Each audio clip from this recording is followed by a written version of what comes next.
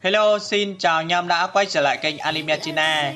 Trong đấu la đại lục, nhóm Slay Khắc chuẩn bị bước sang trang mới là đánh xe ngựa đi đến Hải Thần Đảo cây cấp. Vậy sau khi mọi người đến được Hải Thần Đảo, thì nhóm Slay Khắc sẽ làm gì? Thứ nhất sau khi lên Hải Thần Đảo, nhóm Slay Khắc không cần giấy thông qua đến hỏi thăm nữ chủ tịch đứng đầu bài tay tay 99 cấp, mà họ được Hải Mã Đấu La của Hải Mã Thánh Trụ cho đi nhận làm khảo hạch của Hải Thần. Dĩ nhiên 8 người trong Slay khác đều có những khảo hạch riêng lần lượt là Đỗ Bạch, hắc cấp lục khảo 6 khảo hạch. Chu Trúc Thanh, hắc cấp ngũ khảo 5 khảo hạch. Áo Tư Tạp, hắc cấp lục khảo 6 khảo hạch. Chữ Vinh Vinh, đỉnh cấp thất khảo 7 khảo hạch. Bạch Chấm Hương lúc nhận khảo hạch rất tự tin, khoe cá tính. Nhưng sau khi biết điểm thi khảo hạch của mình chỉ là hoàng cấp nhất khảo một khảo hạch, Thì Bạch Chấm Hương người có vẻ hơi mất sức. Cũng may là chưa ngất ngay tại trận nhưng Bạch Trầm Hương vẫn giữ được bình tĩnh làm khảo hạch của mình luôn là cho Mang Tuấn ăn cơm chó hôn luôn hắn ngay tại sân thi đấu tiếp nhận khảo hạch trong thời gian một nén nhăn, và cô đã hoàn thành khảo hạch của mình. Còn về Mang Tuấn đang còn phê khi được em hở rốn Bạch Trầm Hương hôn, thì hắn đã nhận hắc cấp lục khảo 6 khảo hạch. Tiểu Vũ là đỉnh cấp nhất khảo 7 khảo hạch. Và cuối cùng là nhân vật chính được nạp thẻ nhiều nhất phim Đường Tam, là Hải Thần Kiều Khảo 9 khảo hạch. Thứ hai là nhóm sở đại khác sẽ làm những khảo hạch như thế nào. Sau khi nhận xong toàn bộ khảo hạch của Hải Thần, nhóm sở đại khác sẽ có một năm để chuẩn bị vượt qua từng khảo nghiệm một. Nếu không vượt qua được khảo hạch, thì người không vượt qua sẽ buộc dừng cuộc chơi và game sẽ over.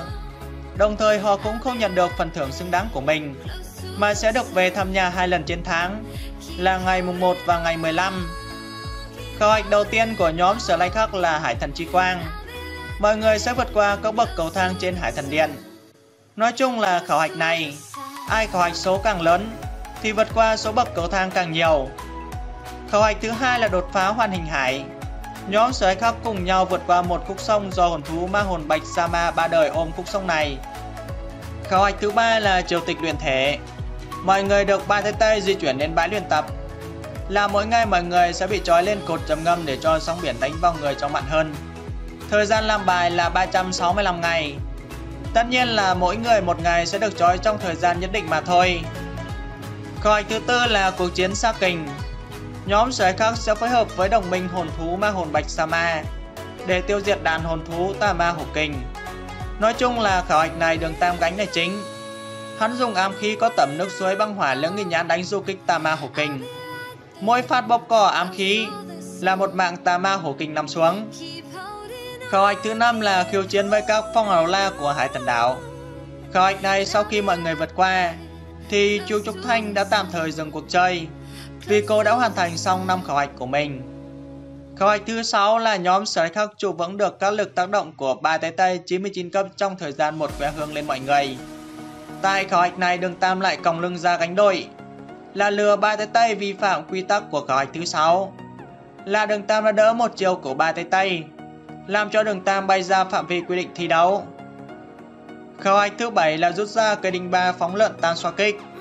Khảo hạch này chỉ còn đường Tam, chữ Anh Vinh và Tiểu Vũ mà thôi. Sau khi hoàn thành rút ra tan xoa kích, thì bây giờ khảo hạch của Hải Thần chỉ còn mỗi đường Tam là còn. Khảo hạch thứ 8 của đường Tam gồm những thứ như sau. Một là phải đạt đến cấp bậc phong hào đấu la. Hai là thu thập đủ 6 cục xương hồn cốt. Ba là hồi sinh em thỏ Tiểu Vũ và 4 là giết chết hồn thú thâm hải ma kình vương trong vòng 5 năm. khâu hạch thứ 9 của đường Tam một là thông qua ảo ảnh trịch dạo với thiên nhật tuyết hai là tái tạo hải thần chi tâm trên tam xoa kích và ba là rút ra toàn bộ hồn cốt dung hợp thành hải thần bát cánh. Cảm ơn anh em đã xem hết video.